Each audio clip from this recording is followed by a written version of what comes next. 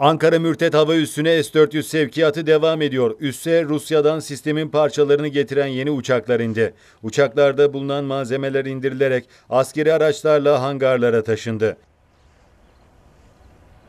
Rusya S-400 sebebiyle Türkiye'nin ABD ile yaşadığı krizi de yakından takip ediyor. Türkiye'nin F-35 programından çıkarılması üzerine Moskova'dan Ankara'ya sürpriz bir teklif geldi. Rusya Başbakan Yardımcısı Yuri Borisov, Türkiye'ye Rus yapımı savaş uçakları teslim edilmesini içeren bir anlaşma için görüşmeler yapılmasının olası olduğunu söyledi. Rus devlet şirketi Rostek'in genel direktörü Sergey Çemezov, Türkiye'nin istemesi halinde Su-35 savaş uçakları sevk etmek için çalışmalara başlamaya hazır olduklarını söyledi.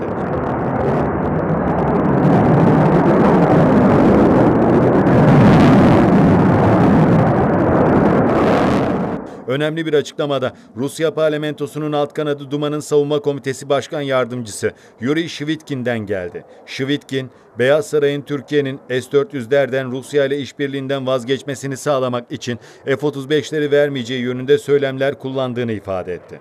Bu arada Rusya Avrupa Birliği'nin Türkiye'ye uygulamaya başladığı S-400 yaptırımlarını da eleştirdi.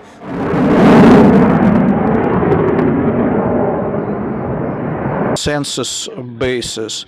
All the decisions related Rus Dışişleri Bakanlığı, Avrupa İşbirliği Dairesi Başkanı Andrei Kelin, tek taraflı yaptırımlar şimdilerde çok popüler bir araç oldu. Özellikle de ABD'lilerde oldukça gelişmiş durumda. Binden fazla farklı yaptırım alanları var. Bu, uluslararası hukukun yerini belli devletler ve devlet gruplarınca uydurulan bir düzene bırakmasına yol açan bir konsept. Ayrıca siyasi konjöktürden bağımsız olarak uygulanıyor, çoğunlukla da ivedilikle, dedi.